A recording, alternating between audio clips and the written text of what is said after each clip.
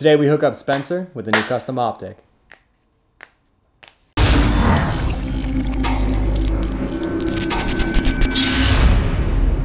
What's going on, Third Army? Today we have a new custom Optik for our good buddy Spencer. You guys may know him on the gram, as Chris likes to pronounce it, as Spencer Ngo 2 and also as Rebel Lacrosse. He reached out to Chris, I don't know, a long time ago and was like, hey, when you get time and you're not having a million projects, could you hook us up with a crazy cool Chipotle stick? And of course, Chris wants to appease everyone, so he was just like, YOLO, I'll totally do that for you, my buddy Spencer. And then he just immediately calls me and says, hey, we got to do a custom Chipotle stick for our buddy Spencer. Here is Spencer's Maverik Optik High School with a custom Chipotle dye in it. It has a custom spec Privateer in it. So instead of doing the two U's, we did two straights. Strung up with Throne Lite. Up top, we have gray and maroon. Maroon on the sides, gray in the throat. We have maroon cross-lace nylons and those two straights. Also has a shield ball stop in it and goes perfect with the little Throne Lite tag in the back. Super clean setup. Actually, um, I had this in my stick for a little bit, but with the use it was really, really nice. Offers you really good placement of that mid pocket and able to shift a little bit higher um, to throw some fakes,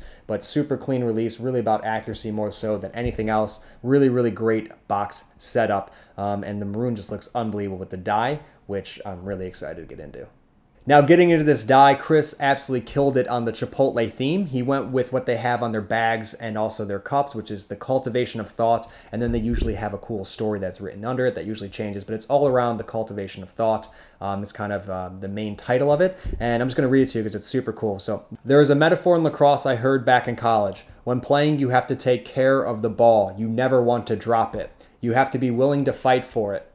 It's like taking care of your friends, family, and whatever you hold close which is really hard to read because it goes through all the string holes. But then my favorite part is right here is the ball is gold and it's got a little gold bar next to it, which I think is super, super dope. They also have a lot of little clip art. So Chris did a little lac stick there and also a light bulb on the back. And what kind of brings it all together is definitely this really nice marble job that has a bunch of different shades of brown and tan in it with the clean white. Um, and that's supposed to go kind of with the crafty look they use for their bags, which um, is like, you know, that brown craft paper. Uh, absolutely knocked it out of the park.